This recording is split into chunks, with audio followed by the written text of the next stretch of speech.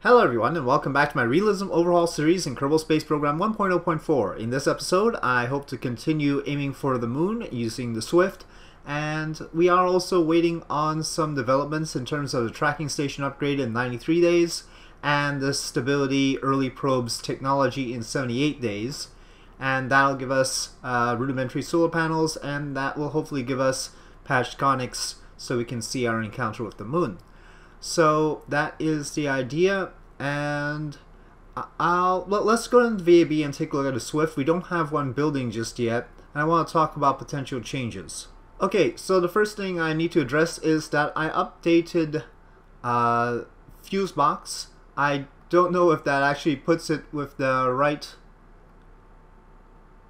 right uh, settings for this. Well, it says Earth, so that's hopeful.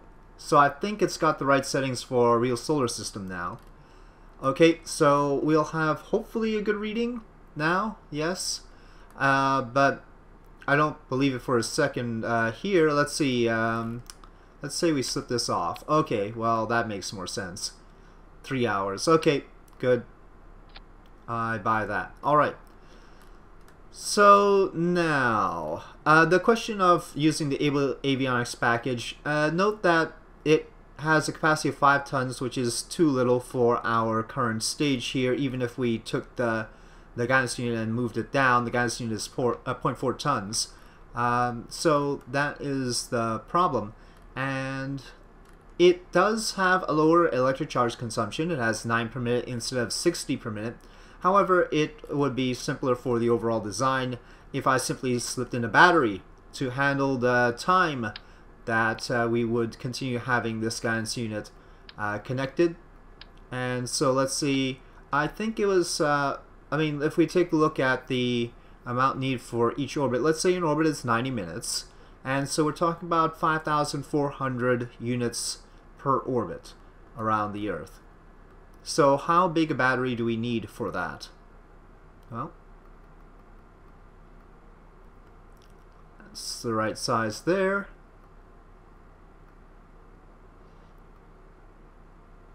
For one orbit, we would need a 0.02 kilogram battery.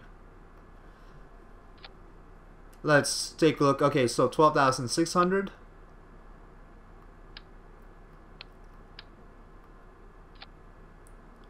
So it's a 35 meter per second loss in that case.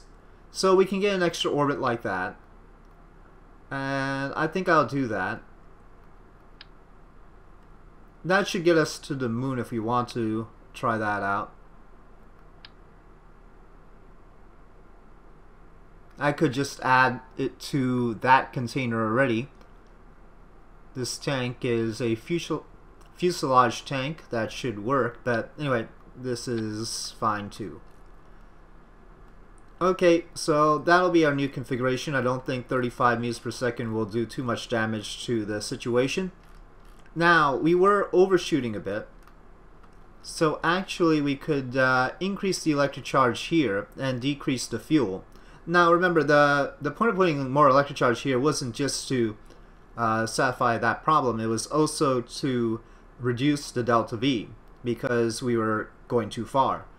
So it was supposed to so solve both problems, and I'm so I'm just gonna add uh, a little bit more. Let's say, uh, let's remove these these guys and go to 7,500 units. 3122. I think we can try that out. Uh, maybe I want 3130, which is what I think I said on a previous occasion. Yeah.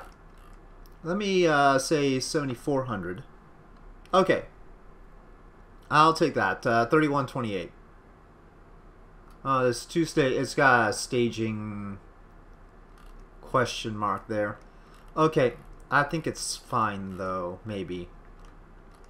In theory, the payload itself has how much? Uh, well, it says 23 days. I don't know if this is... Well, it says Earth. I don't know about uh, well and but but now uh, down here if we keep this uh, connected five hours Okay. We'll see. So, uh, tiny modification, but I'll still call this the Swift 1B. And we'll try it. Okay, after a 34 day construction time, the Swift 1B is on the launch pad. Let's go. First thing we'll need to do is of course line up with the right longitude of ascending node for, for lining up with the inclination of the moon. But after that, we will head out. Okay, I think we can go from here. Uh, everything looks nominal. Throttle up. SAS on. So, uh, just a reminder, we don't have any contract for the moon yet. This is just a proof of concept flight, a simulation if you will, even though we have to pay for it, because I'm not doing simulations like that. Okay, so yep, that's the situation. Uh, but I think it's worth it, so here we go.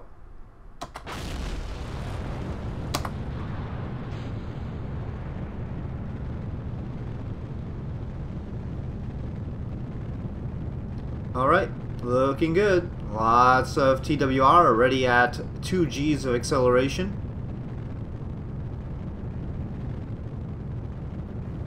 We are well past the speed of sound now. Okay, we'll hold here for booster separation.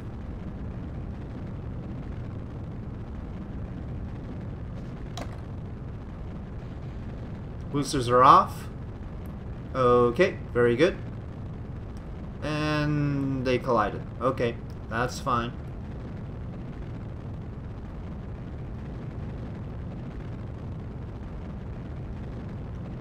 Trying to restrain the time to apoapsis as this stage gets to its uh, maximum G load.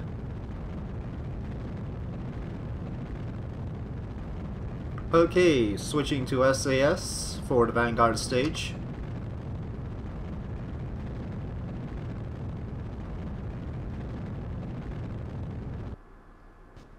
Okay, set. And the Vanguard is ignited. Very good.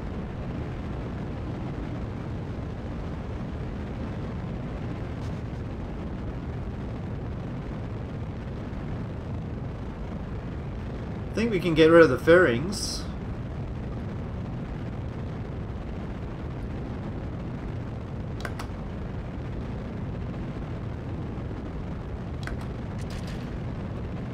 Gotta lock the battery on the probe.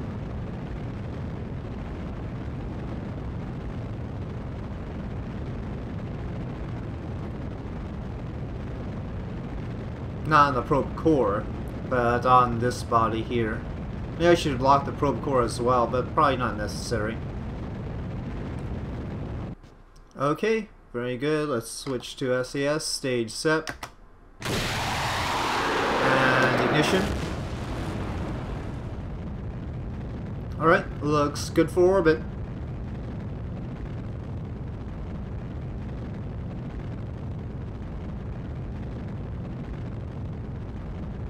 I fix staging here.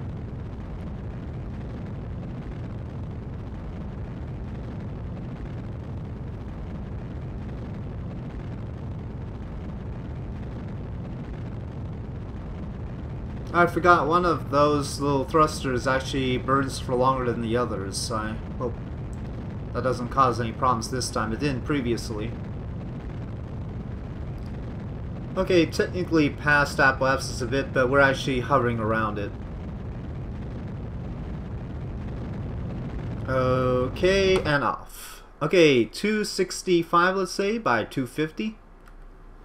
239, uh, 293 meters per second left, 10 seconds of burn time. And we're keeping this stage on because it's got the maneuvering thrusters and the nitrous oxide. Alright, let me take a look at the situation.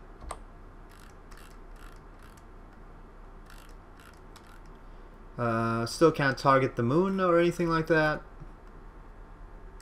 We seem to be in line with it just fine. I think that's us, yeah. And if we position ourselves there, we're definitely not in the right phase angle, but it should take about half an orbit. Let's see, uh, if we're if If we're around here at that point. So we'll learn from Australia again. Okay, we have connection. Let's see. Is that 115 or so? I guess. Tough with the eccentricity of the orbit. But alright. Let's move the electric charge up if it's not up already.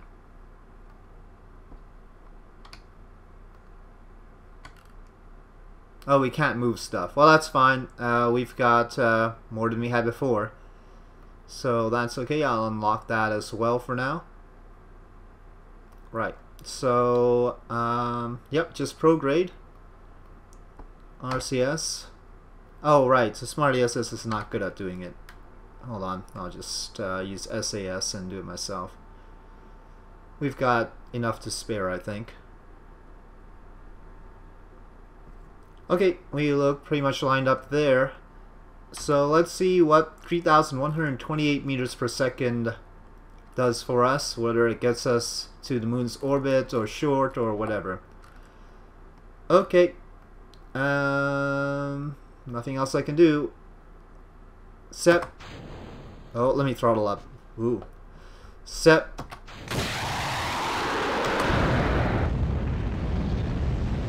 Okay, looks good. Well, a little bit off. Going like that. Sunrise there. Gotta fix those little, uh, little, uh, ullage rockets. Should have been placed with symmetry. I don't know why they have an imbalance. Now, I'm sort of also practicing for using solid rockets for this, so I'm not gonna turn it off. I don't think I have the re reflexes anyway. Okay, well, we're still a little bit past. Yeah, I, I don't think I would have, like, been able to catch it or anything. Uh, especially with the lag, so it's alright.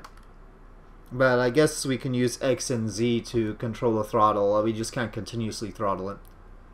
Okay, well, now we have five days worth of juice.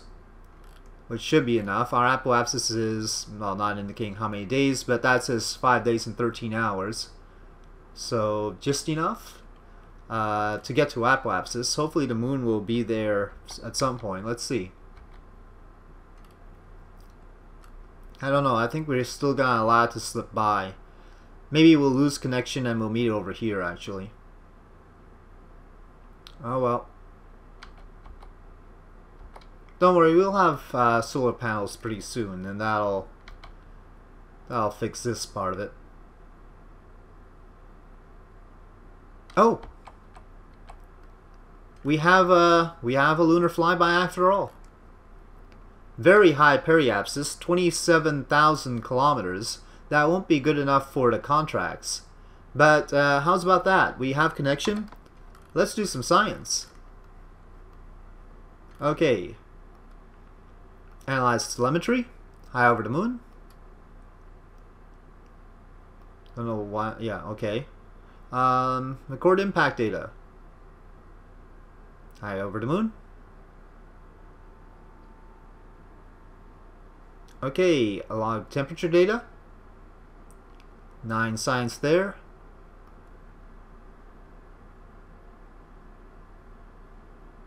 And log radiation data. Okay, so this was sort of a success. Still a little bit far out.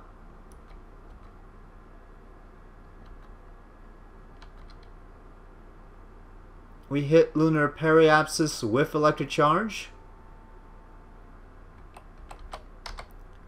This is what the moon and earth look like from here. We're on the far side of both. So, yeah. Okay, well, uh, I guess we'll just be leaving this little guy in orbit for now. Okay, success! Uh, let's go back to the Space Center and decide what to do next. Well, it's a good thing I checked the contract screen, because we do have a science day from space around the moon, which we technically just did. I'll send some null data to satisfy this. Let's pick it up.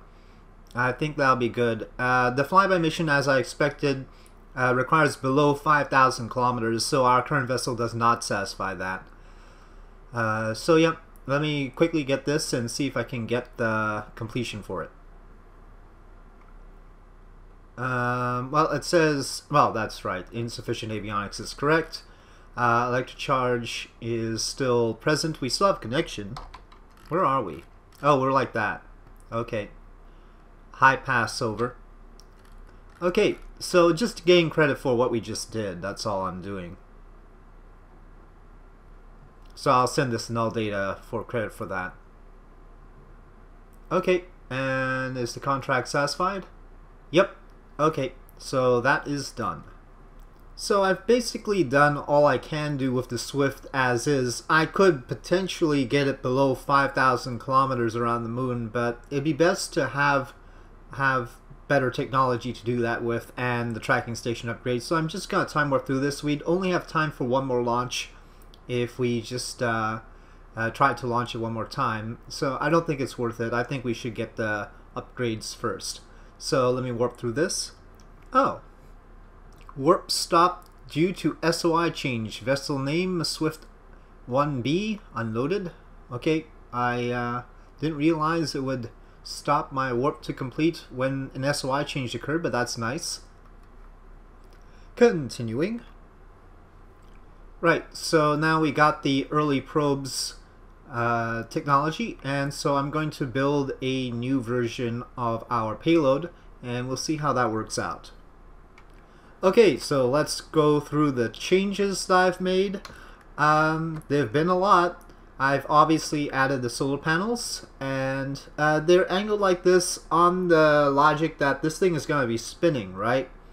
So I don't know how well the system will read their reception of sunlight but uh, we'll be we'll be perpendicular to the sun sort of I think this will work yeah I think this will work uh, the configuration of solar panels but I've dumped all electric charge from this body and replaced it with hydrazine because now we can set the little thrusters to hydrazine the, instead of nitrous oxide so these attitude jets are using hydrazine and I've used the smallest ones because they have less mass 0.0015 tons and I've put them on here because that will allow me to make fine adjustments uh, to push us to the moon. Now, of course, it's only a fine adjustment in the direction of flight, uh, prograde.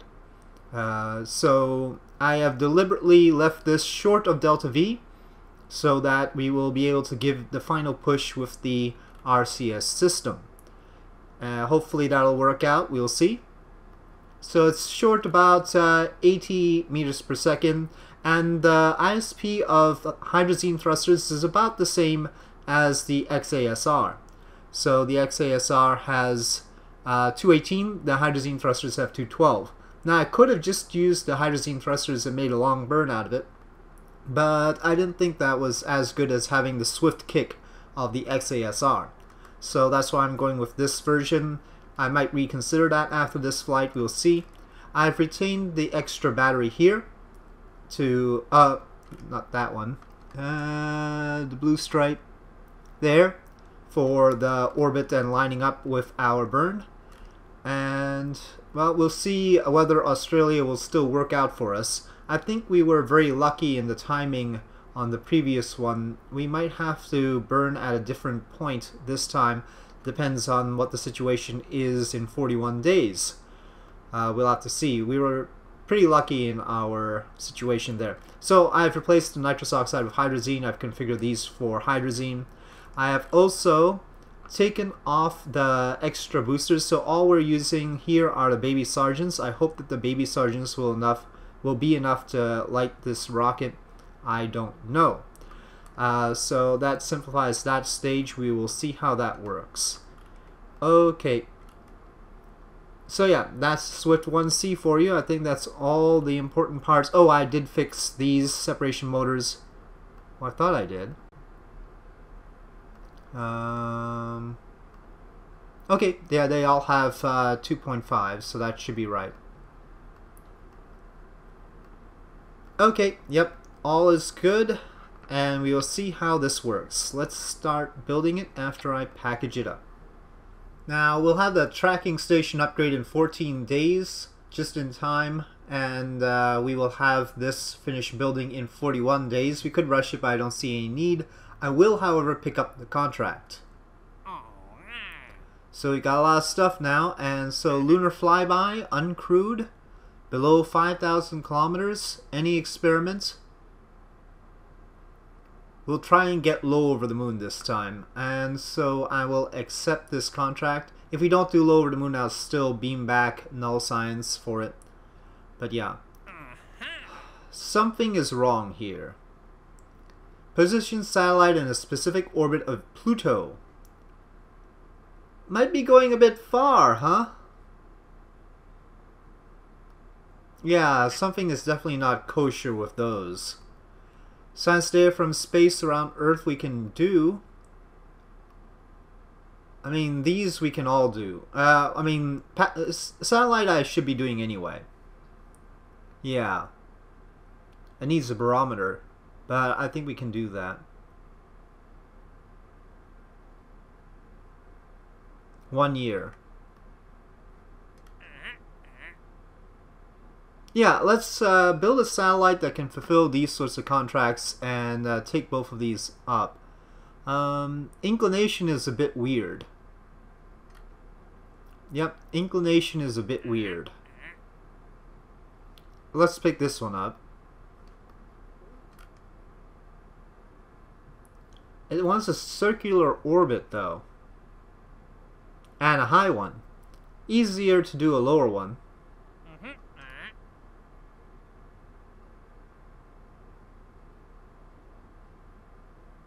but a higher one would be more useful.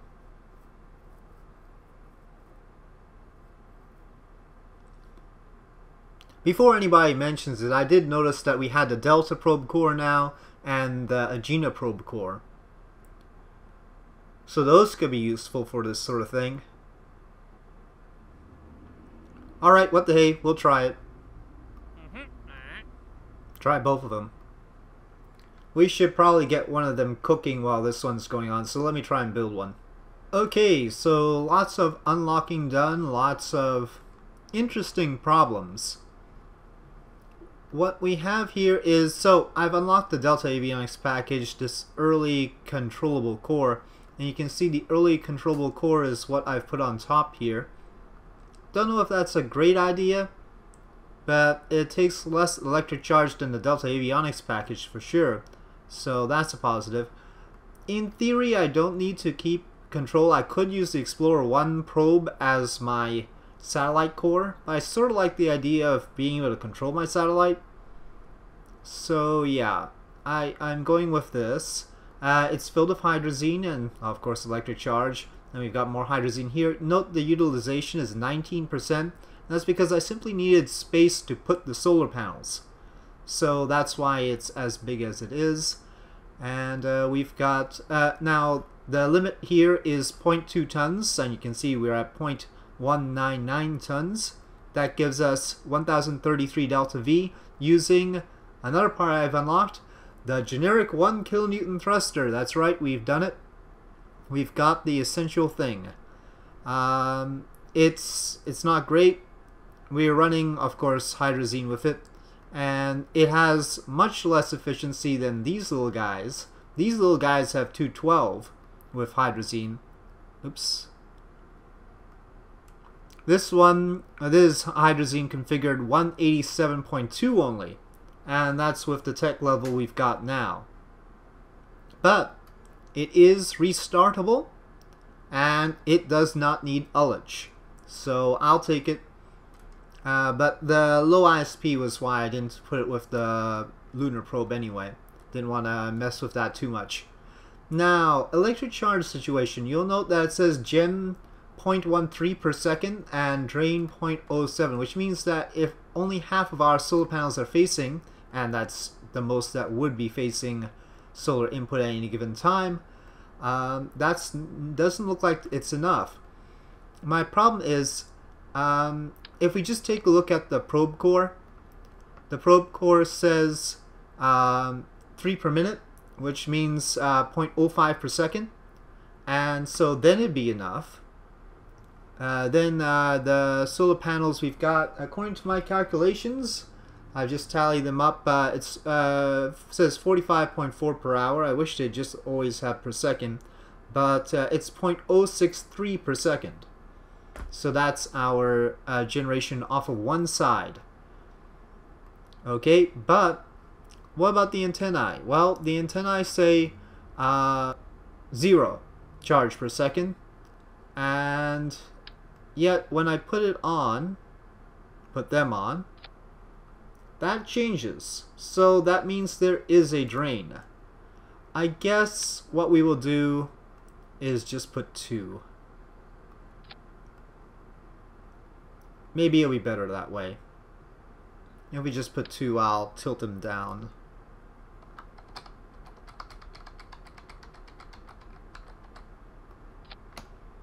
Since I'm not entirely clear how much electric charge they actually take. So that's the problem. Now I've put the barometer as required.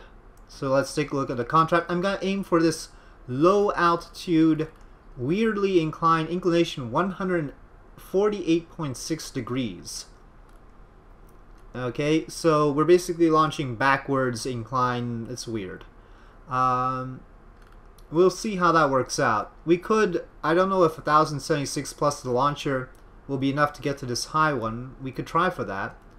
But anyway, it does require a barometer. So we've got that. And because we haven't done the orbital perturbation experiment before, I've got that on too and I will action group those now. I've already action grouped the antennae to toggle them. Uh, no, not toggle display.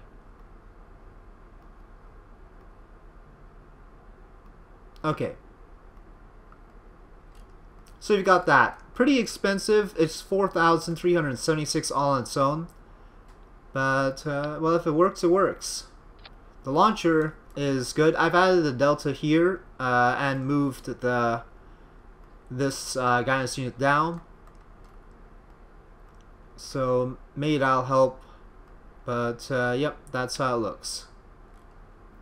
Okay, 58 days though. That's a long time. Now we don't have any ullage rockets on the top, no spinning or anything like that because we were using the 1 kilonewton thruster which does not require that. As so and I've called it Com Tub 1 because it sort of looks like a tub. Actually, uh, earlier configurations looked even more like a tub. So that's why that is the case. Okay, everything looks decent, I guess. Save, and we'll build this one. 9,000. But the advance gave us enough for that, so hopefully it'll be alright. Alright, warping to complete the tracking station. You know what? Can we set up contract alarms? Well, uh, there's no Kerbal Alarm Clock in here. Yeah. Maybe this, there's a configuration in here. Contract alarms. Auto create. Okay, well, uh, all contracts. Okay, there we go. There we go. Should have known uh, Kerbal Alarm Clocks and uh, old stalwart uh, would have uh, adapted to that. Alright. Very good. So, warping to complete the Swift 1C. Oh, another SOI change for the Swift 1A. Swift 1B is there. Swift 1A is on its way out. Okay. Okay, so here we go. First try for the lunar flyby contract. And we'll see how it goes. In theory, all I need is for everything go, to go the same way except for the very end portion where we, we will use the hydrazine to boost us to the right location, but that's theory for you. Throttles up, SAS is on, ignition, and launch.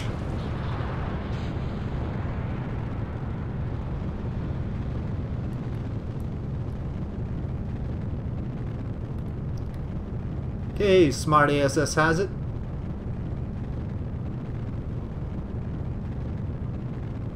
And once again, before I know it, we are past the speed of sound. We're past Mach 1.5 by now.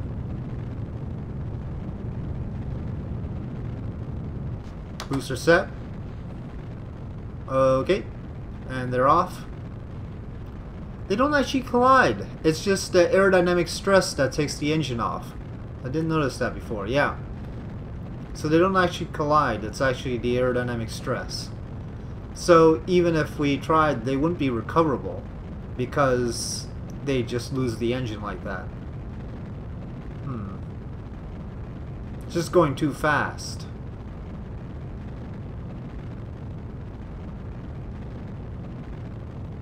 Sort of an unfair advantage to SRBs in that case. I understand that the SRB pricing is fixed.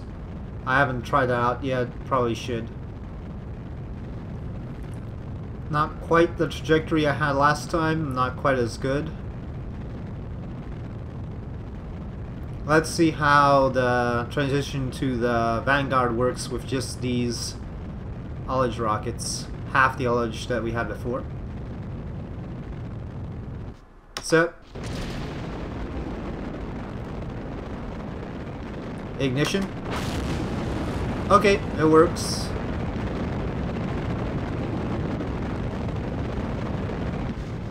Okay, and fairing set. Okay, looking good. Let's extend some antennae. I don't know why our power generation is zero. The solar panel should be receiving direct sunlight, yeah. Sun exposure 0.16, energy flow 0. Oh, uh, maybe because I've locked this battery. Not sure that makes sense. Should still work for this, right? Maybe? I don't know. I don't know why there's no energy flow. Well, now there's some. A little bit. Okay, time to switch. Set. Ignition. Alright. Okay, we flattened out. 30 seconds left in the stage. 15 seconds to apoapsis.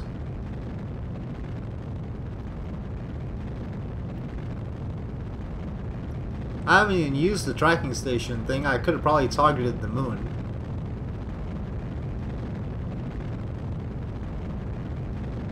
Should have done that.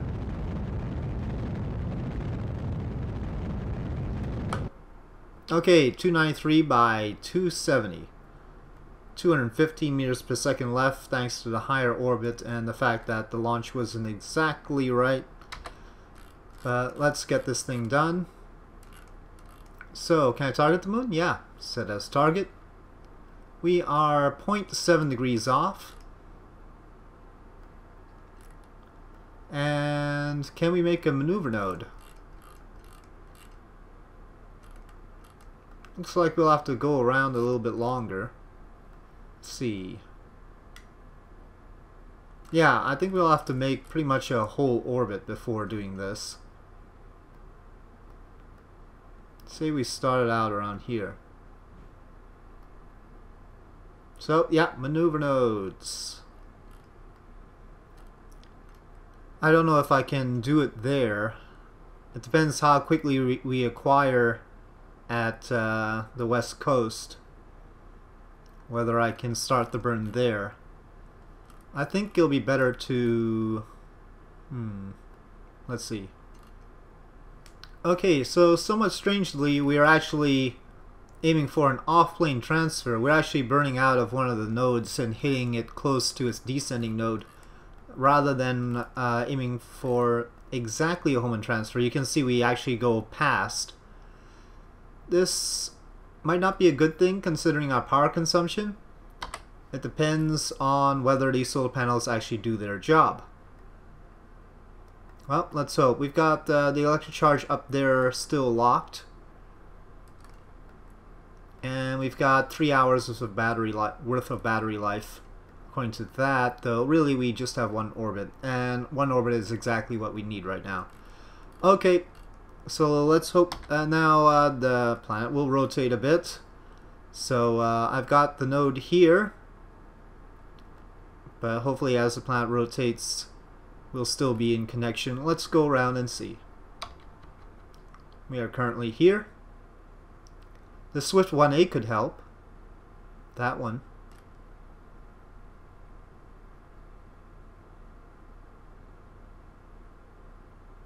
Unless it has no more power. Oh, it can help. It probably shouldn't have any power.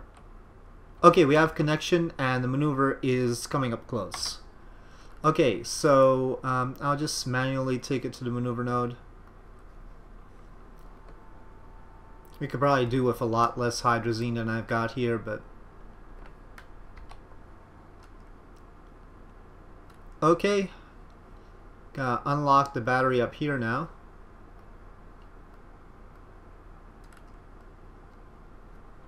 Uh, throttle up. And cross your fingers.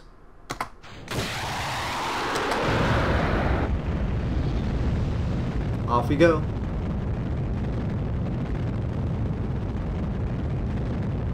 Still a little bit off.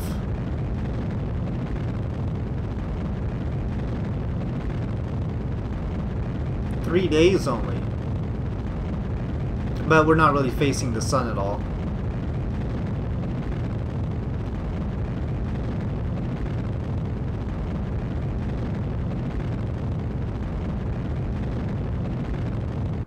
Okay. Hold on. Hold off on the RCS. Oh, can I... I can't shut it off? Uh... Uh... No, I wanted to shut off the RCS. It's just uh, keeping on firing. No, no, no, no. Uh, I thought... Uh, okay, uh, shut... No, go down. Go down. Okay. Okay, that works. Jeez. Um, alright. So X and Z, not the throttle lever. Okay, so um, Z.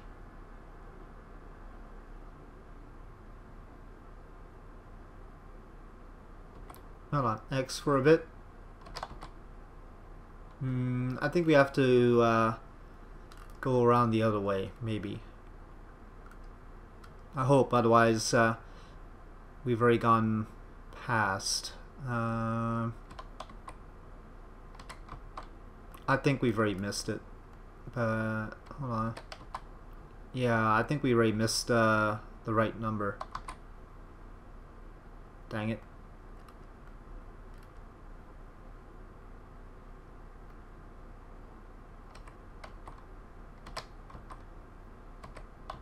Yeah, yeah, this is way off. And I probably can't flip, well I know I can't flip it around. Alright, so this attempt failed. Uh, because I wasn't quick enough on, and I probably should have just cut it once I saw that it was a periapsis less than 5,000 kilometers. We had an opportunity there. But we can't flip it around. I think, I think I should just retire this style of probe. Doesn't seem to be, I don't know, are we eventually gonna get, uh, Hey, persistent rotation was supposed to keep the rotation going. I was relying on the persistent rotation. I wanted to keep rotating. Darn it. Things just don't work out sometimes. Yeah, we're not getting the right solar input like this. I think this system will need a redesign before I try for the moon again. Let's do something a little bit more robust. Something a lot more like the ComSat that I'm planning. Yeah, we'll have to see about that. Alright, so uh, with this attempt at uh, fulfilling the contract, we've done a lunar flyby. We just didn't want do one uh, close enough. Uh, yep, uh, we will uh, continue on and try again in the next episode. Alright, so thank you for watching. If you enjoyed this episode, please do press like. If you have any comments or suggestions, please leave them in the comment section below. And I'll see you next time.